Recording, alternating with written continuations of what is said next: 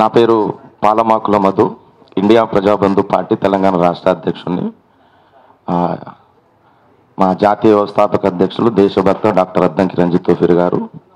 మరి పెద్దలు మహాకవి సామాజిక రాజకీయ దార్శనికులైనటువంటి కత్తి పద్మరావు గారి మీద జరుగుతున్నటువంటి ఈ దాడిని ఇండియా ప్రజాబంధు పార్టీ ద్వారా మేము తీవ్రంగా ఖండిస్తున్నాం. వారు మరి ఏదైతే బాబాసాహెబ్ యొక్క ఆలోచనను వారి సిద్ధాంతాన్ని ప్రజల్లో తీసుకొని పోవడానికి వారు చేసిన పోరాటాలు వారు పడిన కష్టాలు మరి తెలుసు పెద్దలందరికీ తెలుసు. కనుక వారు ఒక స్ఫూర్తిదాయకులు. ఈనాడు ప్రజాస్వామ్యం కాపాడబడాలి. అలాగ అనగార అనగారనబడినటువంటి వారికి న్యాయం చేకూర్చాలంటే కత్తి పద్మరావు గారు లాంటి పెద్దలు దేశానికి చాలా అవసరం. సో ఇప్పుడు ఈ రౌండ్ టేబుల్ సమావేశం జరగడం చాలా సంతోషం. దీన్ని నిర్వహిస్తున్న పెద్దలందరూ కూడా ప్రత్యేక ధన్యవాదాలు తెలియ తెలియపరుస్తున్నాం. మరి ఇంతకుముందు పెద్దలు మరి పసునూరు రవణ అలాగే కైలాబన్న ఇంకొంతమంది పెద్దలు ఇటీవల జరిగిన దాడులను గురించి ప్రస్తావించారు. అక్కడ మరి బీఎస్పీ రాష్ట్ర అధ్యక్షులు ప్రవీణ్ కుమార్ సార్ తర్వాత మరి ఇండియా ప్రజాబంధు పార్టీ తరఫున మేము కూడా దాడిలో ఉన్నాం. సో అది చాలా అన్యాయం. అది మాత్రం కాదు ఇంకా చాలా జరుగుతూ ఉన్నాయి. అటు మేనూరులో జుక్కల దగ్గర తర్వాత ఇటు కొత్తగూడెము ఇటు ఇద్దరు అమ్మాయిలు భవ్య వైష్ణవి వాళ్ళ మీద. ఇవన్నీ ఆపబడాలి అంటే మనం తప్పకుండా ఒక రాజకీయ శక్తిగా ఎదగాలని రాజకీయంగా మనం ముందుగా రాణించాలని అంబేద్కర్ యొక్క ఆశయం మహానుభావులు మాన్యశ్రీ కాంశీరామ్ గారి యొక్క ఆశయం ఏంటంటే చట్టసభలో మనం ఉండాలి. దుర్మార్గులు మనో మతోన్మాదులు మన మీద చేస్తున్న ఈ దాడులకు వారికి ఉన్నటువంటి అండదండలు ఏంటంటే రాజకీయ శక్తి. ఈనాడు మరి దళితులు అనబడినటువంటి వారు మరి అణగారినబడినటువంటి వారు ఒక రాజకీయ శక్తిగా ఎదగకపోవడం మరి చాలా ఇటువంటి దాడులు మనం ఎదుర్కోవాల్సి వస్తుంది. ఇక్కడ మరి చాలామంది ఎస్సీలు ఉన్నారు. బీసీలు ఉన్నారు ఎస్టీలు ఉన్నారు ముస్లిమ్స్లు ఉన్నారు. ఎంతమంది ఉన్నప్పటికీ వీళ్ళ మీదనే దాడి జరుగుతుంది.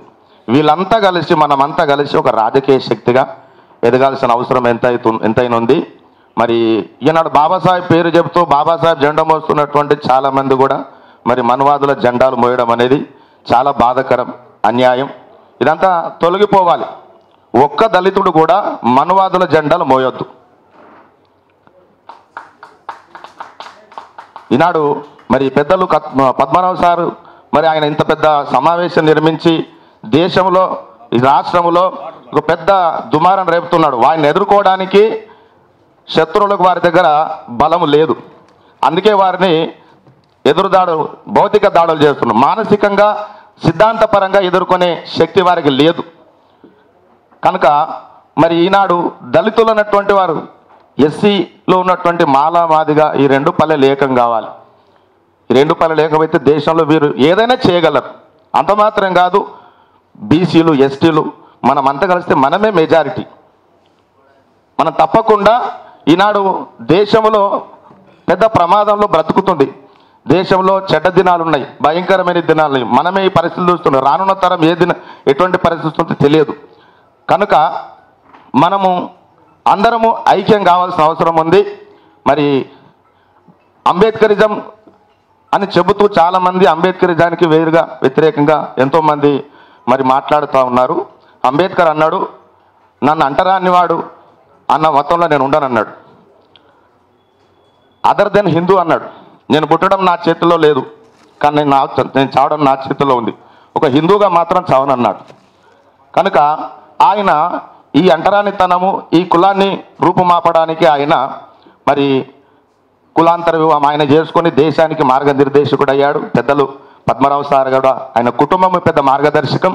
అలాగూ ఇండియా ప్రజాబంధు పార్టీ జాతీయ వ్యవస్థాపక అధ్యక్షులు దేశభక్త డాక్టర్ అద్దంకి రంజిత్ తోఫీర్ కూడా వారు కూడా సారు కూడా మరి ఆయన కుమారుడు ఒక నాస్తికుడు. ఆయన కోడలు ఒక ముస్లిం. వారు స్వయాన నాలుగు వందల యాభై కులాంతర వివాహాలు చేశారు. అంబేద్కర్ జమన్ పేరు చెప్పడం కాదు ఆయన చేసి చూపించారు. నాలుగు వందల యాభై కులాంతర వివాహాలు సొంత ఖర్చు ద్వారా కోట్ల రూపాయలు అప్పు చేసి చేశారు. ఎందుకంటే ఒక సిద్ధాంతం కొరకు. కనుక మరి ఈనాడు ఇటువంటి మేధావులు పెద్దలు దేశానికి అవసరం వారి ఆలోచన విధానం అవసరం. బాబాసాహెబు కాంశీరామ్ సారు అలాగూ పూలే సాహెబ్ యొక్క ఆశయాలతో బ్రతుకుతున్న ఈ పెద్దల్ని మనం బలపరచిన అవసరం ఉంది. మనం తప్పకుండా మరి రానున్న ఎలక్షన్ పెద్దలు చెప్పారు. మాస్టర్జీ గారు మరింత అద్భుతంగా పాట రాశారు. కనుక మనము తప్పకుండా రానున్న చట్టసభలో మనమైతే మార్పు తీసుకురావాలంటే మన రాజకీయ శక్తిగా అంబేద్కర్ మనకిచ్చిండు గొప్ప ఆయుధం ఓటు. ఓటు అనే ఆయుధం. మరి ఇండియా ప్రజాబంధు పార్టీ తరపు నేను చేవల నుంచి నైన్టీలో పోటీ చేశాను. ఇటీవల జరిగిన ఇదే ముషిరాబాద్లో ఎమ్మెల్యేగా కంటెక్ట్ చేశాను. దళితులందరూ కూడా రాజకీయంలో పోటీ చేయాలి. అందరూ బలపరిచినటువంటి ఒక వ్యక్తిని మనము నిలబెట్టి గెలిపించుకొని చట్టసభలో కూర్చోబెడదాం. ఆడ కూర్చున్నటువంటి వారు జై శ్రీరామ్ జై శ్రీరామ్ అంటున్నారు. వారు కాదు అక్కడ కూర్చున్నటువంటి చట్టసభలో కూర్చునే వారు ఎవరు కావాలంటే జై భీమ్ అనేవారు కావాలి జై కాంశీరామ్ అనేవారు కావాలి. వారు కూర్చుంటేనే దేశం బాగవుతుంది. కనుక మరి ఈ సమావేశానికి వచ్చినటువంటి పెద్దలందరికీ ధన్యవాదాలు. తప్పకుండా మనం రాజకీయంగా మనం ముందుకు సాగదాం. మనమందరం ఒకటి కావాల్సిన అవసరం ఉంది. మీ అందరికీ ప్రత్యేక ధన్యవాదాలు తెలుపుతూ నాకు ఇచ్చిన అవకాశాన్ని బట్టి ధన్యవాదాలు.